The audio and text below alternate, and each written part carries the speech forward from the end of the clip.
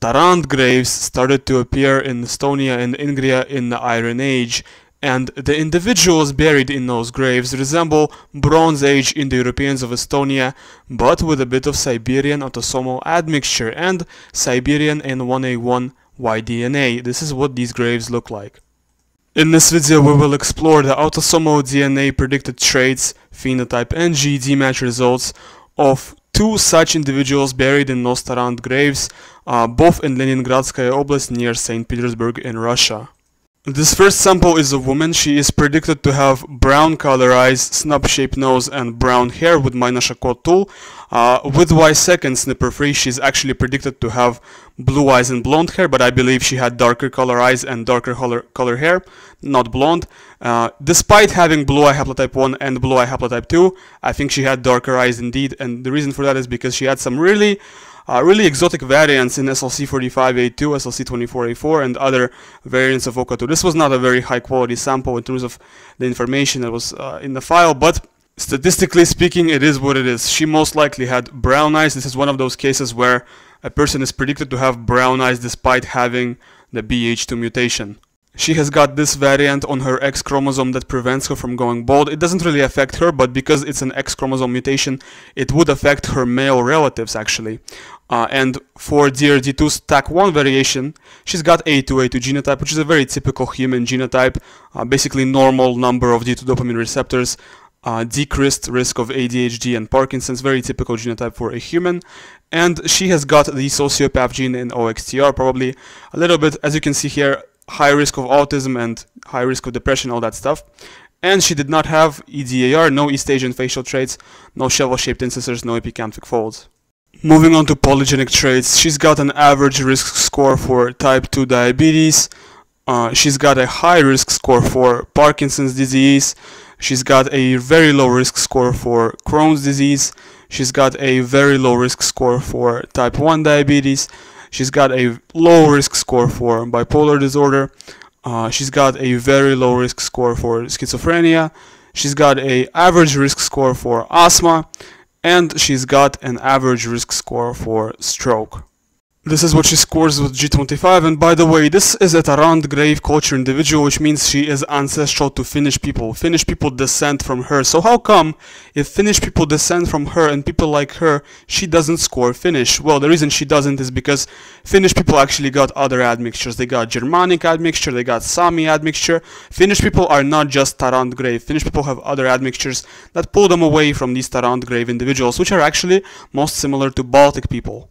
This is what she scores with MDLPK11 Modern and it's a very important calculator result to include in this video. Why? Because it shows the continuity that existed in Estonia from the Bronze Age to the Iron Age. Yes, Finno-Ugric uh, people came over in the Iron Age, they introduced their language to Estonia, the language, the culture, they changed a lot, right? But the genetics remain the same. She is still closest to various corded ware individuals. As a Iron Age Estonian and as a Finno-Ugric uh, speaker, she still kept her Indo-European genetics, she still kept her in the European autosomal DNA. These GEDmatch results are a testament to the culture change that occurred in Estonia, where Bronze Age Indo-Europeans were influenced by Uralics from the east, mixed with them a little bit, only a little bit, took their paternal lineages, but kept their own Indo-European autosomal ancestry, and then went on and became the foundation of the Finnish nation. If you've been paying attention and really observing these GEDmatch results, you would notice that there is almost nothing Uralic here. There is no Siberian, there is almost no Uralic ancestry in this sample. It's pretty much just a typical Baltic, or in more ancient terms, a corded ware Baltic corded ware individual. This is what she scores with Ancient Eurasia K6. She does score 4.7% East Asian ancestry here. And this is basically the East Asian ancestry that she got from uh, Uralic admixture. Not much Uralic admixture, but Actually, a little bit less. Actually, even a little bit less than what's typical for Finnish people today, because Finnish people have another substrate. They have a Paleo-Laplandic or Sami substrate. Let's move on to the second sample, also Iron Age Ingrian, who's got R1A haplogroup, uh, actually a Slavic subclade, uh, typical subclade for Slavic people and Baltic people. And when it comes to phenotype, he is predicted to have blue eyes with an amber center, Greek-shaped nose, and blonde hair. With Y-sec, he's actually predicted to have blue eyes and blonde hair. With Snipper Freak he's also predicted to have blue eyes and blonde hair. He had BEH1 and BEH2. blue eye haplotype 1 and blue eye haplotype 2, which is enough. Pretty much that's all you need to make the, uh, the assumption that he probably had light color eyes. When it comes to lactose persistence, he has got the European lactose persistence mutation, uh, definitely able to digest milk. He's, uh, he's good for it. Uh, he did not have the Celtic curse or hemochromatosis. Very interesting mutation for me because uh, I am actually a carrier for it. Uh, surprising because I'm not Celtic, I'm not Northwestern European, I'm a Russian. And um, he's got this genotype for better intracranial volume, big brain. When it comes to polygenic traits, he's got a very super high risk score for gout. Uh, he's got an average risk score for coronary heart disease. He's got an average risk score for Parkinson's disease. Um, he's got an average risk score for schizophrenia. And he's got an average risk score for bipolar disorder. This is what he scores with G25. This is actually not a typical result for even a Tarand-Grave individual. He is much more hunter-gatherer than what's typical for other Tarand-Grave individuals. He's somewhat of an outlier actually. Uh, and he's closest to Balts because Balts are the Europeans with the most hunter-gatherer admixture today, right? This is what he scores with Eurogenes K13. He's actually scoring some Siberian, East Asian, Amerindian, Oceanian, so he's got some around 6% East Asian admixture, and that East Asian admixture all comes from, of course, Uralics. Uh, this is what he scores with MDLP K11 Modern, and you can see from his results here, there is continuity between Bronze Age Estonians and Iron Age Estonians or Iron Age Ingrians, right? The same thing, Estonia, Ingria, same thing, culturally speaking. Um, this is what he scores with Pandianel kit, and what's interesting is he's scoring only 22% CHG, that's less than what's typical for modern Estonians. Modern Estonians, I think, would be 24 or 25%, but that's within the variation range. He is closest to Estonians and Lithuanians here.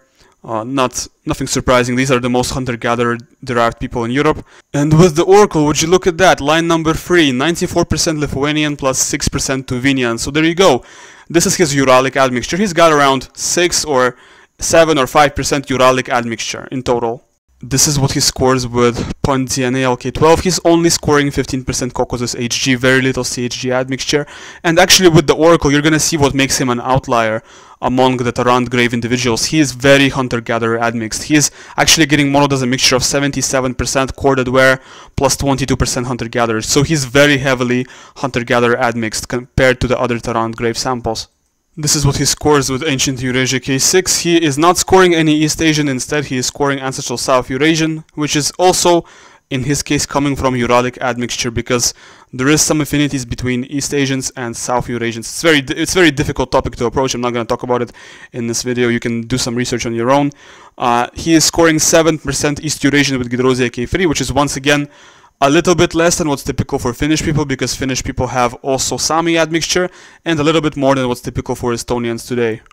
In terms of the Y DNA, this culture had about as many N1A males as R1A males, compared to Bronze Age Estonians and Ingrians who basically all had R1A.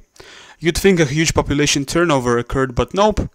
In terms of autosomal DNA, these Iron Age Estonians, as you have seen in this video, resembled Bronze Age Indo-Europeans that preceded them. If you enjoyed this video, leave a like and subscribe. You can download the raw samples analyzed in this video from link which is in the description.